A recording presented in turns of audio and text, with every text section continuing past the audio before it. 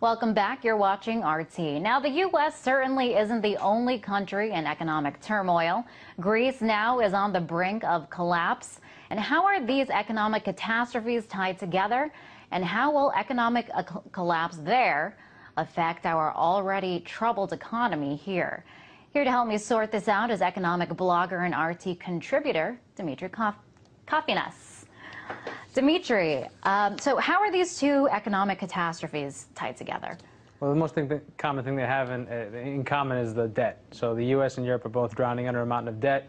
Banks don't want to take write-downs. They don't want to liquidate debt. They don't want to uh, deleverage there because they're afraid if they do that, that's going to cause a, a, chain reaction of bankruptcies. So I think that's that's sort of the problem that they're both facing. Right. You know, in Slovakia, um, one of the European Union nations, is not doesn't seem to be so concerned about the problems in Greece. The country stalled the expansion of the bailout fund to rescue the eurozone. Why aren't they on board?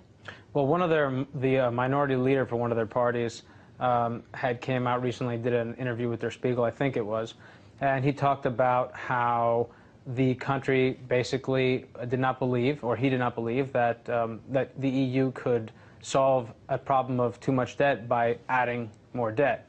Um, and he made the other argument, which is that Slovakia is one of the poorer countries in the in the eurozone, and that although they can sympathize with what Greece is going through and what some of the other countries are going through, he's not about to sacrifice his country's national interests on the altar of uh, of the eurozone and of the European technocratic dream.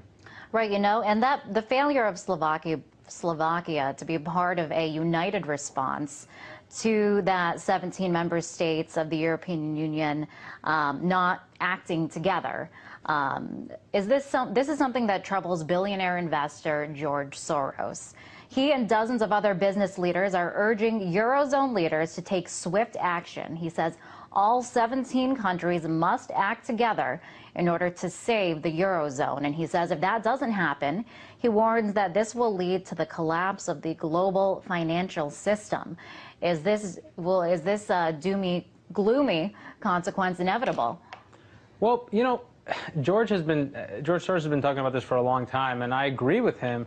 But uh, it, it's important to note that he's been talking about this at least since 1998, when you had the, the, the financial crisis, 97, and he wrote a book in 98 uh, about this specific fact. He thought that the global financial system could not continue the way it was architected because uh, capital flows had become global, but economies were still national. Uh, I think that we are at that point now where he's correct. He thought it would happen earlier, but I think we're there now. He's been pushing this for Europe and for the globe more generally. The idea of, okay, you've got all these different na national economies. Capital is international, but uh, labor is still somewhat national. There are all these different constraints. We need to unify uh, regions. We need to unify globes uh, create common currencies, common fiscal treasuries, and that's what he's advocating for Europe, and he thinks that's the only solution. That is the solution for the European Union if you want a centralized government and a centralized uh, banking system. Um, but it's not the solution if what you want is more freedom and more national autonomy. So that's the, that's the thing. People have to decide what they want. Do they want more autonomy, or do they want a, a greater kind of super state? Okay, right. And, you know, here in the U.S., I mean, why should we care what happens um, over there in Europe? What happens to the Eurozone and to the Euro? Um, if, if, they do um, collapse, what kind of consequences will we be seeing here? As, well, as Soros warns that there, this will lead to this global meltdown. Well, there's the practical side of if they collapse, what would happen immediately.